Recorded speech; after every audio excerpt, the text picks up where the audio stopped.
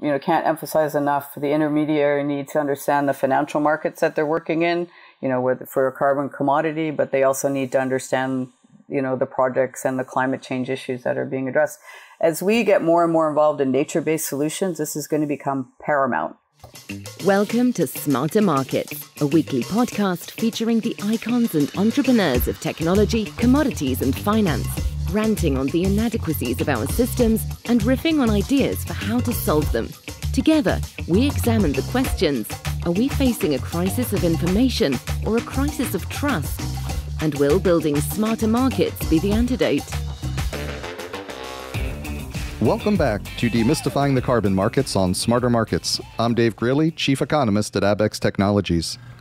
Our guest today is Corinne Boone, a true climate market pioneer. Over the past 30 years, Corinne co founded, built, and managed the global carbon brokerage business at Cantor Fitzgerald, executed numerous innovative multi million dollar carbon market transactions between global corporations, and advised on the establishment of large climate funds. Corinne is currently group head for the Americas at Air Carbon. Hello, Corinne. Welcome to Smarter Markets. You've been such a pioneer in the carbon markets that many people will unwittingly find themselves walking in your footsteps. That's why I feel so fortunate to be able to get to speak with you today about your experiences, the lessons learned, and what it all means for us now. Like many people getting into carbon markets today, you got involved in climate markets through your work for a large company. Ontario Hydro, which is now Ontario Power Generation, uh, back in the 1990s. Can you start us off today by telling us a little bit about how you got started and what were some of those earliest transactions? Sure. Thanks very much for having me, by the way. It's a pleasure, pleasure to be here. Sort of really want to start off by saying I kind of got hooked when I was in university. I took an environmental economics course, and that was at the time that Our Common Future the book Our Common Future and the Brundtland Commission was coming out, and sustainability became a real topic of the day. And understanding that we really need to find a balance between economy, environment, and society. And then learning about the fact that we could price pollution as an economist really, really got, I was hooked after that. I thought I've always been somewhat of an environmentalist, but always have wanted to look at these issues and integrate them from a business perspective because what gets measured gets managed. That's always been my, my motto. I was lucky enough when I was went to Ontario Hydro in 1991 that in 1992 I got to work for Maurice Strong, who was the the chair of the first United Nations Convention on Climate Change in 1992 in Rio. Came back and started uh, working a lot on climate change and sustainability. As you might know, the Rio Convention led to the actual United Nations Framework Convention on Climate Change, and every the rest is history. Uh, Ontario Hydro at that time took on a lot of voluntary targets for NOx targets, SO2 targets, and carbon dioxide targets. And I was part of a group uh, that uh, set up the emissions trading function at Ontario Hydro. We were led by a, a, real visionary, someone who you might want to interview in the future, a man by the name of Brian Jantzi, who really had a lot of great ideas. And together as a team, there were there were four of us in the beginning. We really uh, really started to look at ways in which to use the markets to accomplish environmental objectives or at least contribute to them. Uh, we uh, in Ontario we had the first pilot uh, emission reduction program, which really was a way to look at offset projects, take them through a process for accreditation, for uh, quantification, review, and then certification. And that in, that actually ended up informing a lot of the North American trading scheme. So the the PERT uh, registry, the Pilot Emissions Trading Program, became the Clean Air Canada registry, and then the, the CSA registry for Canada was used as a model by RGGI, by NESCAUM. Various elements are found in, in it all around the world in offset, uh, uh, you know, emission reduction uh, registries. I would even venture to say that some of that, you know, lent, lent its way into some of the registries that we see today. Uh, some of the early trades that we did I mean, we did some a trade for uh, Richard Sandor and his group at that time. They were called Environmental Financial Products, for example, and that was a that was a big trade. That was in 1998. That was called Zapco. We purchased a million tons of carbon credits from 22 landfills across the United States. And that had a real impact on the way in which going through the process of creating the credits and getting those credits quantified and then monetized by selling them to Ontario Power Generation at that time It was really a monumental moment, and Richard Sandor writes about it in his book, and it's one of the big, big transactions. And in talking to one of my colleagues the other day, we said it was really one of the trades that influenced the decision to look at ways in which to go forward with the Chicago Climate Exchange. We also were doing trades um, as part of a consortium uh, with the Iowa Farm Bureau in the United States. We were purchasing credits from advanced agricultural practices. We actually did a transaction with DuPont in the 1990s, which led to a transformation in a lot of their technology. And it was an N2O destruction transaction. So that was one of the six gases in the Kyoto Protocol led to DuPont changing their technology around the world and reducing their envir- their carbon emissions associated with one of their production processes. We did smaller trades like Car Heaven, where we worked with to have cars retired across the province, 260,000 of them, a lot of energy efficiency trades, a lot of landfill gas trades across Canada. And all of these transactions are documented in the Canadian, the CSA registry here in Canada, way, spanning way back from the early 90s You'll see if you go into that registry all of the transactions. And then the last trade that we did that I was involved with just before I went to my next position was we began a transaction with a big company in the United States that was capturing carbon along its CO2 pipelines in West Texas and, and then eventually in Wyoming. And that company was then called Petrosource and became to know to have its current name, which is Blue Source. It's amazing because if you if you told me those trades were happening today, I, I wouldn't blink an eye to know yeah. that they were happening in the, the late 1990s. It's amazing. Um, and as you said, some of your trades laid the groundwork for the path breaking Chicago Climate Exchange. And I'm curious, you know, you were working on many of these large transactions, but how was the overall market developing at that time? And what were some of the obstacles that you found yourself encountering? Uh, I think one of the biggest challenges that we found at that point in time is that everything that we were doing was voluntary. You know, there was a lot of, I, I don't say market speculation, I say speculation and you know, the thinking was that we are going to be living in a carbon constrained future and there will eventually be regulation towards that end. So what can we as industry, you know, those that were forward thinking at the time, you know, there were some indus- some companies and industries that were saying we just have to keep the doors open. We'll worry about regulation when regulation happens. And there were other companies that and institutions and others that really wanted to be early movers and have some influence on the way in which the markets develop. But you know, the big thing is that it was all voluntary at that point in time. It was being done in the absence of regulation you know, but it did create a lot of momentum. You know, the Chicago Climate Exchange itself, you know, it was the first real attempt at a trading platform. I mean, I'll, I'll, which I will probably restate in another way when we talk about my next physician, which brought together over, you know, 400 participants. They had clearing and settlement. They had a database of all the transactions. You know, it really led to a lot of momentum. They all took on voluntary commitments. But, you know, by 2008, 2009, you know, it was all collapsing because there was a lack of political will. The US had not implemented any regulatory backbone for that. And the participants ultimately lost interest in trading in a voluntary market where they didn't foresee regulations coming. And that was eventually sold. The exchange was eventually sold, as, as you probably discussed with others before. But what it really did create was momentum in the absence of, you know, a lot of momentum in the United States, for example. It, it led to the development of a lot of experience by those that were participating, both buyers and sellers, and brokers and traders, and project developers. And you know, early action led to a better understanding of what was needed in the policy front. But just like in Canada, we, we had a very similar experience. You know, there was a lot of voluntary action in the, in the 90s leading up to the mid 2000s, you know, and sort of everything kind of came to a halting grind, you know, 2005, 6, 7, because there was no policy certainty, Kyoto Protocol, you know, all of those issues around the U.S. not adopting it, etc. So really what was missing back then was any sort of regulatory certainty and any real big financial player involvement other than the few a few big companies that really saw this as a potential market. And that's such an important contrast to today because, as you said, in the, the late 90s and early 2000s, much of what was being done was as in anticipation that you would get the government policy and regulations coming and you'd have like these larger, robust compliance markets being formed.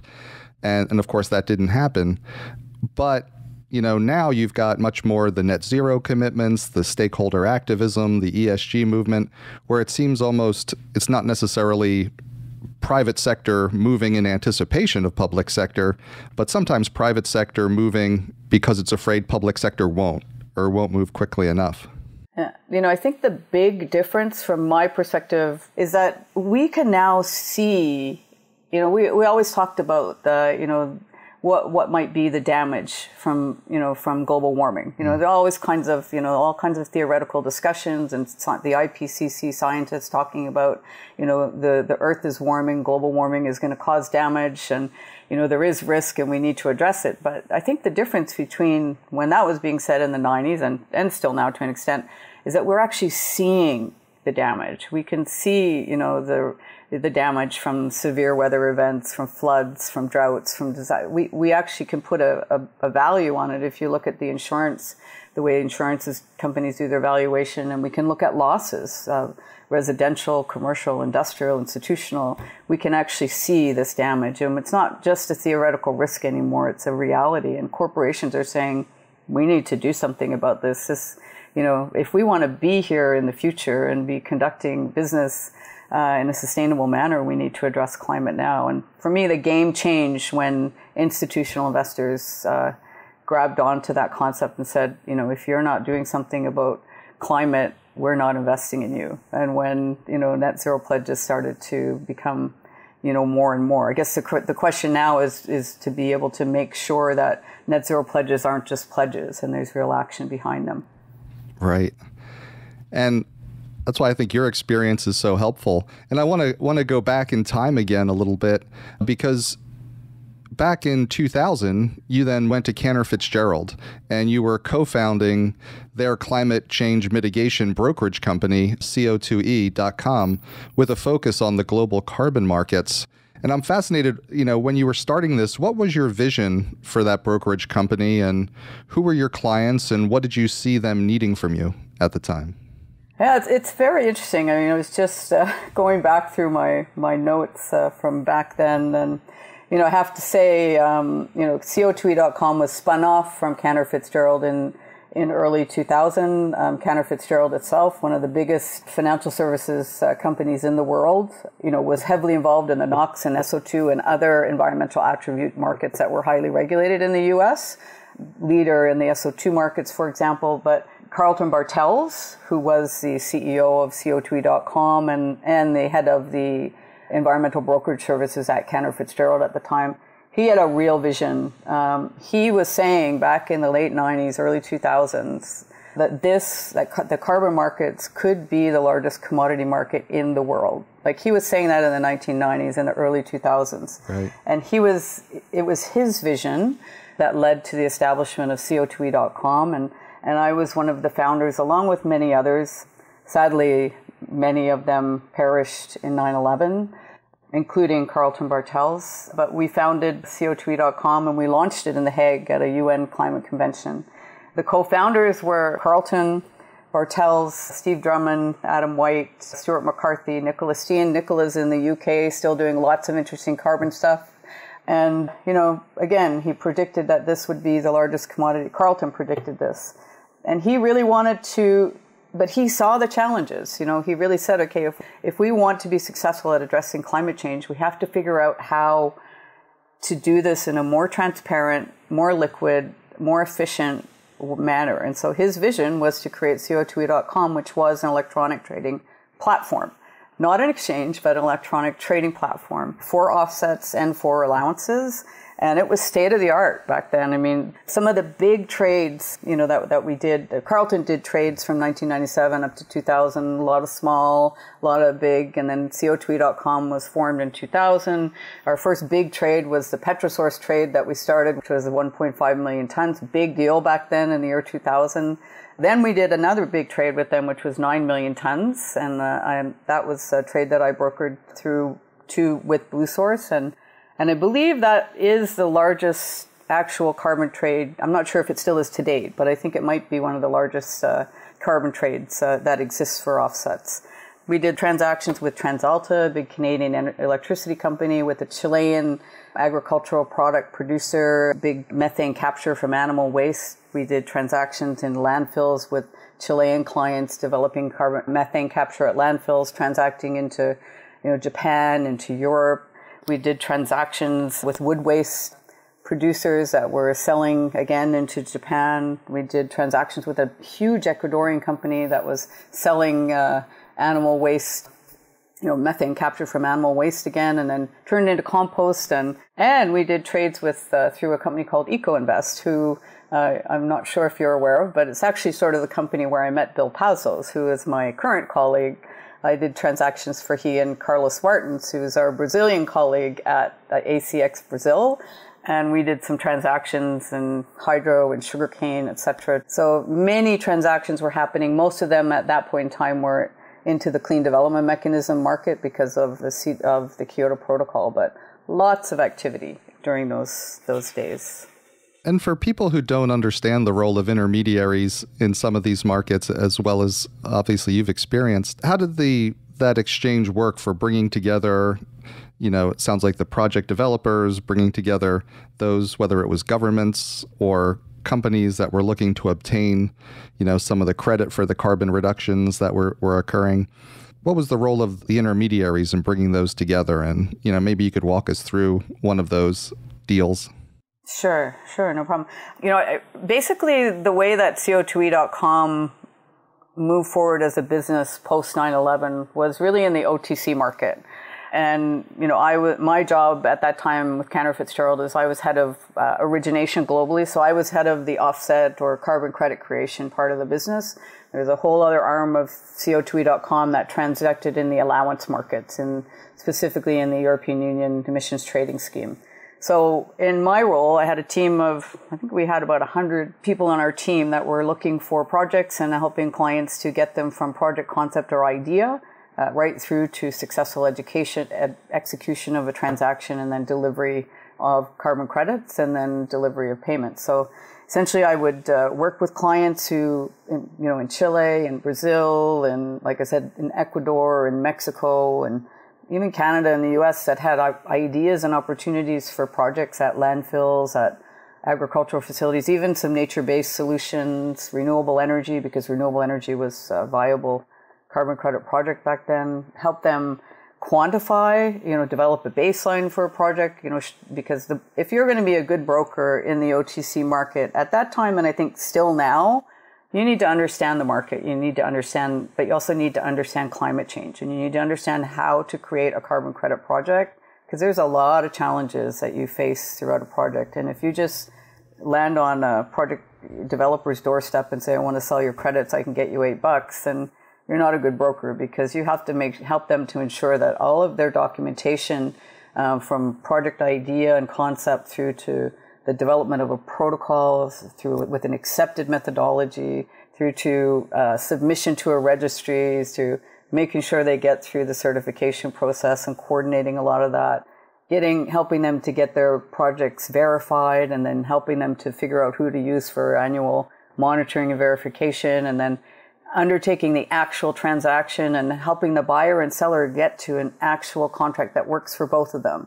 Because as you know, um, each party, the buyer and the seller wants what they want. And the role of the intermediary is to find that sweet spot in the middle where the buyer, um, you know, gets the carbon credits that they're looking for at a price in which they're willing to accept. And the seller gets to undertake their project and sell their credits to, at that point in time, very much it was part of the financing needs for the project. So really helping the, the buyer and the seller come to that point in the middle where they can get to a deal and deliver the credits, whether it's through upfront payment, whether it's through, you know, we'd use all the tools in the market. Sometimes, we, most of the time, we were doing forward transactions. Sometimes we were doing options. Sometimes we were doing puts. Sometimes we were doing calls. You know, a lot of sophisticated transactions and, and, uh, you know, and it was really the role of the intermediary was, was to understand that and help the clients get to a place where they both walked away happy. They had a long term relationship. One had carbon credits and one had revenue for, for their projects. That's so helpful. Um, and today, you know, we see intermediaries in the carbon markets helping to create long term transactions between the project developers and those end users of carbon credits. We also see short term trades occurring in carbon offsets after they're created. And I'm curious, you know, from your perspective, what similarities do you see between what's happening now and what was happening back then? And, you know, what tools that were developed back then do you still see in use today? Or can we still use today? I mean, I think maybe I'll start out with the easier part. I mean, the short term transactions or the spot market is easier. If the carbon credits are issued, it's easier to an extent. And, you know, we'll get to that maybe later on in the discussion, which is where the role of exchanges, uh, you know, and uh, like Air Carbon come in, is that they offer a lot more access to project developers that have carbon credits that have been issued or in the spot market and they just want to sell. It's a lot easier to sell spot market credits in general, even if it's over the counter because they're issued. There's a lot less risk associated with them. A buyer knows that the carbon credits are issued. They just have to agree to contractual terms, make payment, take delivery, and go forward. It's the forward transactions, you know, where, or the, you know, now we're seeing a lot of transactions with companies such as one that you're involved in, like Base Carbon and with others, where you're to some extent, you're you're funding projects that will happen in the future.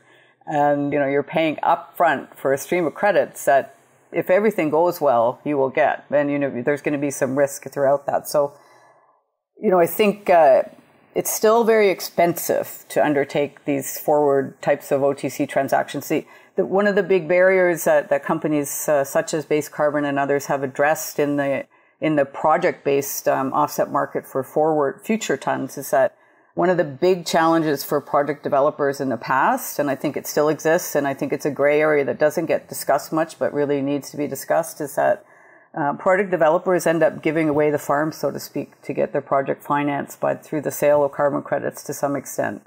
You know, some offset project development companies will come in and say, I'm going to help you develop your carbon credit project. I'm, this is the fee I'm going to charge you for marketing or brokerage, not marketing, but you know, transaction of these tons. But then there's all these other costs in the middle, you know, to get your protocol developed, to develop a contract, to do the verification, to do the monitoring.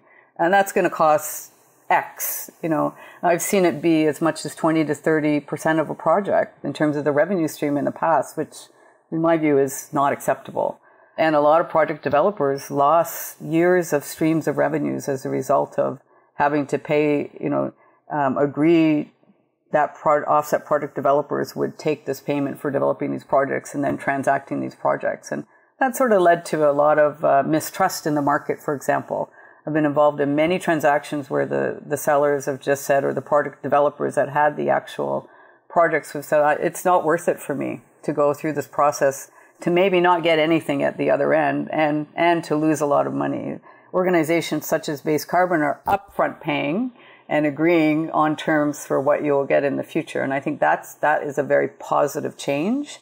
Uh, but it's still very expensive and it's also very time consuming. If you're doing a, a typical over the counter transaction, you still have to negotiate a contract. You still have to go through all of the process of getting your methodology accepted if there isn't one, of getting your project registered. There's a huge bottleneck in the registries, Verra particularly, because there's so much activity. A lot of the registries don't have common rules and requirements, even vintages to some extent. There's some, you know, hmm. disagreement around that. But there's also, you know, things have changed a lot. Net zero pledges are a reality now, and they weren't before. And so that actually leads to a lot of positive opportunity you know, there is a lot more will other than just political will to try to get to a good deal. Some of the things that we can we can take forward and the tools that have been developed that we should really take advantage of is there were master emission reduction purchase agreements developed in the 1990s and 2000s, and Air Carbon Exchange has one, for example, and IETA, the International Emissions Trading Association, has developed one. And they should be the base of any carbon credit transaction because a lot of people who have spent a lot of time in these markets on at every point in the market have come together to develop a document that actually can be used to form the basis for a transaction. Um, registries, you know, we should have learned lessons around registries. There's, again, I think I mentioned there's a huge bottleneck. And there's a lot of fragmentation. There's not much fungibility. And again, I think I made the point earlier that local communities and the project developers need to be sure to benefit from these projects if they are to go forward. And there's the other thing I think that I would really like to emphasize is there's so much experience, you know, from the CDM market that seems to have been forgotten. You know, there were almost 8,000 CDM projects and billions of tons of carbon credits that transacted in the CDM market. And we can take lessons from all of those methodologies that were developed. So those are things that I think we should do. Yeah, and it's so important that we don't spend our time reinventing the wheel and having to, to learn hard lessons all over again. We, but we it actually, does. I, we actually reinvent the wheel a lot in this, and I guess maybe that's uh, that is one thing that I think you know we should take a lesson from and try to you know I, I, actually think there's a need for a study where we bring together the learnings from all of those and say what could be the good things we could take from all of that forward when we come out of Glasgow with the new institution. That's a great idea. And I really need to second the, the lesson you kept pointing to, which is that in a lot of these, you know, longer term arrangements, they need to be more than arrangements. They need to be real partnerships. And, you know, as you said, Phil Hardwick, yeah. who was one of our guests, uh, the COO at Base Carbon, emphasized that when you're in these relationships that are going to be transactions occurring, you know, over more than a decade, you need to make sure that there's you know, rewards for everyone. And as you emphasized with intermediaries, it's not about one side winning everything. It's about everybody coming to a point where they're getting their fair share of, you know, uh, of what they need and what they want. So. Yeah, and, and I mean, you know, again, you know, can't emphasize enough the intermediary need to understand the financial markets that they're working in, you know, with, for a carbon commodity, but they also need to understand you know the projects and the climate change issues that are being addressed. As we get more and more involved in nature-based solutions, this is going to become paramount. Yeah, and you know, maybe I'll come back one more time because I think you may have answered this already, but you know, I just wanted to try to put a point on what role do you think that intermediaries should be playing in the carbon markets to make the markets as a whole, not just the intermediary, but the markets as a whole successful? So I know you've you've emphasized part of it is them, you know, really understanding both the physical business, the science, and their clients. But I'm curious if there's any other things that would stand out to you. Um, I guess uh, you know, and, and I sort of differentiate sort of exchanges from intermediaries. But you know, again, I can't emphasize like what you just said: understanding, you know, the market and the climate issue understanding the needs of the clients too. I mean, not all clients have the same needs. There's a lot of product or developers out there that really don't need money to finance their projects. They just want to sell a stream of carbon, which then calls into question all of these issues around additionality, right? But you know, but there are some carbon, some project developers out there that really need the money, and oftentimes need the money up front to actually develop the project, and and they also need help. They don't, you know, you know, we we hear about carbon credit projects and the potential to sell carbon credits and make money that can finance projects and and a lot of these projects don't can't meet a certain hurdle rate. But then you say to them, okay, well, I, am going to be your intermediary, and, and but you're going to have to develop a protocol. You're going to have to, you know, do a baseline. You're going to have to submit it for verification. You're going to have to do monitoring. You have to submit it to a registry. You have to sign an agreement and negotiate it. You have to annually monitor. And they're like, what? Like I don't, you know. So the role of the intermediary is to help clients understand like understand what all of this involves because it's not rocket science, but it's not easy, right? In order to get to a successful carbon market transaction, there's a lot of work involved. You know, from buyers, from sellers, from intermediaries, from from consultants that do, you know, good project documentation, from consultants that do monitoring and verification reports, and then the whole registry review process. And so really understanding that. And you know, we need to understand this because it's not going to change. There's always going to be an OTC market because we want good carbon credit projects to go forward, and that means there's always going to be a forward market. Uh, Gillette, You raised a great point of so many people that are you know in the project development space you know they come to it from the the mindset of a scientist or an engineer or a conservationist and they don't necessarily know, nor should they know. Like they're mm-hmm. not lawyers necessarily. They're not financial market, you know, not familiar with financial market regulations and procedures. And so there's also this process to bring together those different types of knowledge and those different ways of thinking to make these markets successful. And you know, I wanted to close out today. I, we've talked so much about the past, you know, 20 plus years, but today you're group head for the Americas at Air Carbon, and I was curious, how do you see this ecosystem of exchanges, spot exchanges like Air Carbon and other intermediaries developing? And where do we need to go next if we're going to create markets capable of meeting the commercial needs of the net zero movement? I mean, I, you know, just like I think maybe go back to almost the beginning to the end. I mean, it's just like what Carlton Bartels was saying, you know, with his vision for CO2e.com. He recognized the need, and Richard Sandor to some extent as well, because he recognized the need to make, enable these markets to be highly liquid by putting them on electronic trading platforms or putting them on exchanges, much of which had many similarities.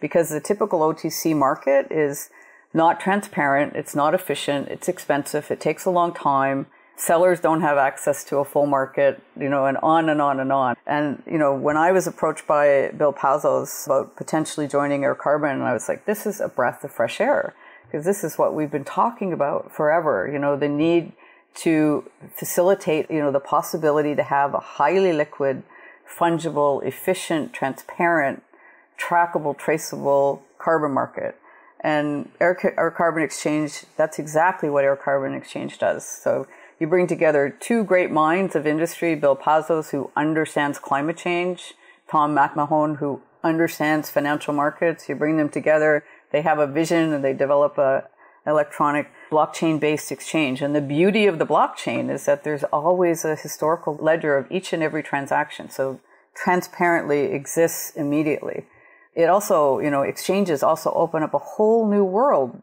for sellers and for buyers. Instead of negotiating through a lawyer or through a project developer with maybe, you know, one or two potential buyers that were, I, you know, identified and contacted through a term sheet, you know, that then takes months to negotiate. They just onboard onto Air Carbon Exchange, you know, once they've got, you know, if they're in the spot market and, you know, we can talk a bit more about the futures, but and they've got immediately they've got access to a whole ream of potential buyers if they're a seller. And on the other side you know and they've all been cleared. They've all gone through a know your client process. They've all you know there's a trustee in the middle. There's where bank air carbon exchange is bankruptcy remote. So there's you know the risk is pretty much taken out of the equation for both buyers and sellers. They can go in. They can you know if you look at our our trading platform the exchange. It's every every token that we develop on Air Carbon Exchange is is asset backed by a ton of carbon. So it's real. We use the blockchain for good. We use it to actually be able to trace uh, transactions clear immediately. Transaction settles. The buyer, the seller delivers. The buyer pays, and everybody is whole. And it happens. You know, the transaction can clear within seconds on a on a on a carbon exchange instead of within months or even sometimes years in the OTC market. But the other thing is, you know, regulation will be key. You know, as as you've seen and we've all heard recently, there's the SEC has come out, you know, talking about reporting and disclosure. You know, there have been all kinds of calls for regulation in the carbon market. Canada is looking at different ways of regulation. Um, Europe is already regulating carbon, so there's, you know, we are going to be in a regulated market. So the use of market tools such as exchanges is an obvious and natural way to go. And, you know, as we, we look at, you know, the forward market, uh, even the CDM market currently, but the forward market for Article 6.4 under Glasgow, exchanges can link up domestically and internationally to each and every exchange, whether it be a developing country, any country that has a compliance obligation that is allowing for carbon credits to be transacted internationally as part of their their requirements, we can link up to that. But exchanges really add an extra level of credibility to this market and speed, efficiency, and transparency and quality. And it's really the way of the future. And carbon will be a commodity, and carbon will be the biggest, the largest commodity market in the world. It could even be its own asset class. Thanks again to Corinne Boone, a true carbon market pioneer and current group head for the Americas at Air Carbon. We hope you enjoyed the episode. Join us next week with our guest, Barbara Baarsma, CEO of the Rabo Carbon Bank, which is working with clients to accelerate sustainable food production through regenerative farming and other initiatives that reduce and remove carbon emissions from the atmosphere. That concludes this week's episode of Smarter Markets by Abaxx. For episode transcripts and additional episode information, including research, editorial, and video content, please visit smartermarkets.media. Smarter Markets is 100% listener driven, so please help more people discover the podcast by leaving a review on Apple Podcast, Spotify, YouTube, or your favorite podcast platform. Smarter Markets is presented for informational and entertainment purposes only. The information presented on Smarter Markets should not be construed as investment advice. Always consult a licensed investment professional before making investment decisions. The views and opinions expressed on Smarter Markets are those of the participants and do not necessarily reflect those of the show's hosts or producer. Smarter Markets, its hosts, guests, employees, and producer, Abaxx Technologies, shall not be held liable for losses resulting from investment decisions based on informational viewpoints presented on Smarter Markets. Thank you for listening, and please join us again next week.